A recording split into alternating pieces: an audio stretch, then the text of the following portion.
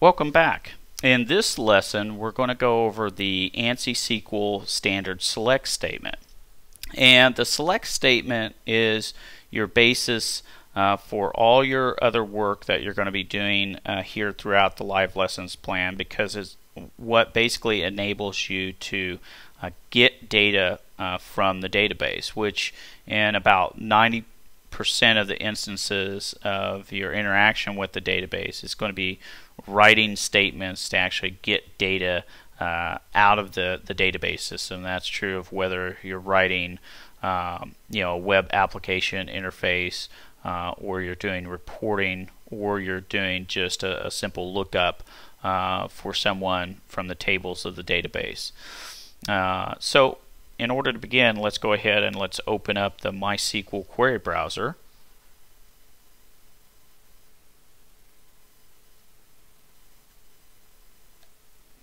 And you can see here that this is just a standard login prompt, so you can enter in your password. We'll select OK. So for these lessons, I've got set up the MySQL 24 uh, database over here. So I'm going to uh, click on the database in the schemata so that it actually brings uh, me up and connects me to the uh, SQL 24 instance. And you can verify that by looking in the uh, header pane up at the top. So I'm connected in SQL 24. And then uh, for this lesson, we're going to be paying particular attention to the customer table. And the customer table actually has uh, things like customer ID, uh, customer name, customer address, customer city, uh, all of that kind of stuff that we would want to uh, actually gather from the database. So when we're talking about getting data out of the database, we're talking about writing a select statement. So the select statement basically has three different parts to it. It has the keyword select, which tells the, the uh, query interface that, hey, you're going to actually be requesting some uh, data from the database. And then it's going to be uh, a, a column list for the list of columns that you want to have returned, or you can think of them as uh, data points. And then the last thing is the what's called the from clause, which is the uh, in its basic instance is uh, the keyword from, and then the table name that you want the select you know run against. So uh, in the very very basic uh, select statement, you are able to allow uh, uh, allow yourself to use a keyword or a key symbol by using the star symbol for your column list. And that column uh, list being star means that you want it to return all columns that are within uh, that table that is designated in the from clause.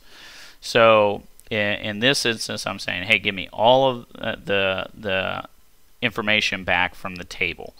And in the from clause, I can replace this with the name of my customer table. Okay.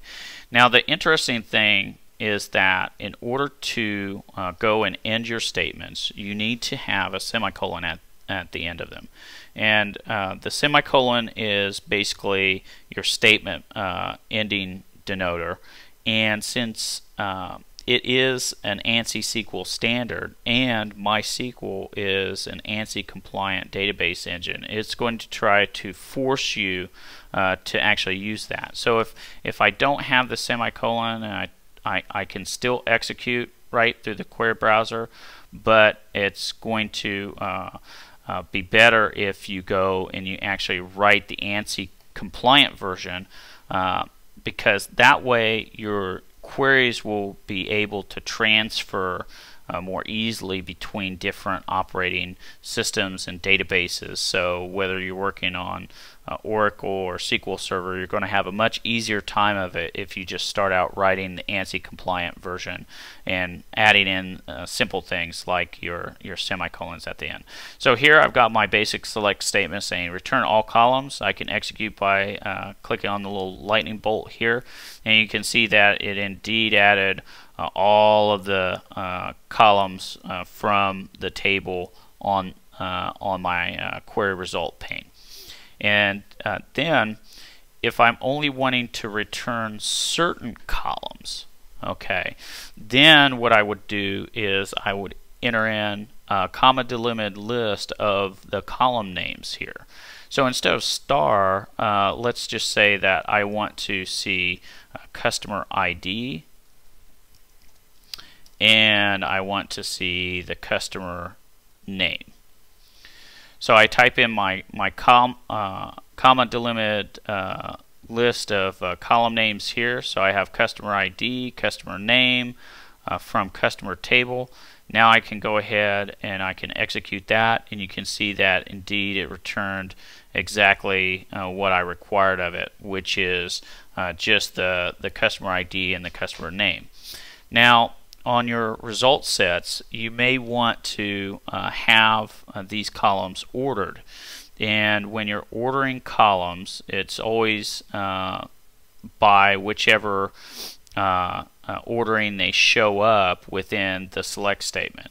So if I'm trying to write like some kind of report uh, for uh, my people and I need customer ID and then I need customer name and then they want uh, the zip uh, added in after that. Uh, then I would just add it in the order and then that would show up appended to the, the end of the, the result set. But if I wanted to say have customer zip uh, before uh, this result, I can simply change the order of the columns and then the column ordering is changed in my result set. And this will be what you'll have to think about when you get into the habit of actually writing reports and, and such, is that you basically want to structure the SQL query syntax to where uh, it matches the final output uh, of the reports. So uh, the next thing that you'll want to look at is uh, the use of what we call aliases. Now using aliases allows you uh, to specify uh, kind of a, a, shortcut value for uh, your table names and your column names and to actually uh, rename them. So when I'm looking at an alias, uh, all I have to do is after the particular object, so for a table alias, uh, I can enter in a table alias of C for the customer table and now I can reference that just by a C dot within the syntax.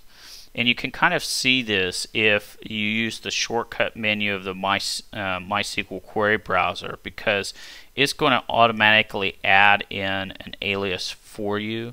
So when when I go and I double click on a table object, it automatically puts it in proper ANSI SQL form so that I can see it. And you can see here that my customer table is aliased now by uh, the letter C. So when I want to reference that particular table column somewhere, I would I could do a C dot. Now the the query browser syntax will also allow me to to go and uh, pick the various values from here. So now you can see that uh, what I have here is that when the query browser syntax actually writes it out, it already automatically appends the C colon to it. Uh, and that C uh, period is actually telling it, oh, this is the particular uh, customer ID from the customer table because there are instances where we'll be selecting from multiple tables later on and you'll need to keep track of the tables. The other interesting thing that the query browser uh, shows off to us is the syntax of, of using uh, these uh, quote uh, hash marks uh, here and that is to actually reference uh, an actual uh, column name specifically by that name. So we don't necessarily need them if the column name doesn't have any spaces within uh, the column name, but if we had a column name of something like cust space ID, we would actually have to to use that. Or uh, there are certain uh, keywords uh, that uh, are within the ANSI SQL standard that would force you to use that. So, say if I had a column called uh, check, you can see that by the blue highlight this is blue highlighted just like this select statement. So you can tell that this is a, reserved word in uh, the language. So you would actually go and you would have to, you know, put uh, your uh, hash marks around it to let it know that hey, this is actually a column. It's not the the special uh, ANSI SQL syntax uh, here that I'm talking about. Now you can also go in and you can also uh, give your uh, columns aliases too. So I could easily alias this uh, column as uh, ID and I could easily uh, alias this column as name and then when I would execute now you can see that instead of being customer ID and customer name like they were before, now they're actually ID and they're actually name. And that uh, actually allows you to pretty up the syntax a little bit and make sure that it, it uh, looks coming out you know more human readable and it's just a nicer interface to actually use so uh, with that uh, we end our, our lesson on the uh, select statement. So uh, go back and try to put this to uh, use in your environment, and we'll catch you on the next lesson. Looking to advance your career by acquiring new skills? Tired of expensive off-site training programs? Wish you could learn from the best instructors in the industry? Look no further than live lessons self-paced personal video instruction by the world's leading technology publishers. Each live lesson comes with a DVD featuring three to four hours of instructor-led classroom training, sample program code that allows you to work along with your personal instructor, and an example-rich study guide.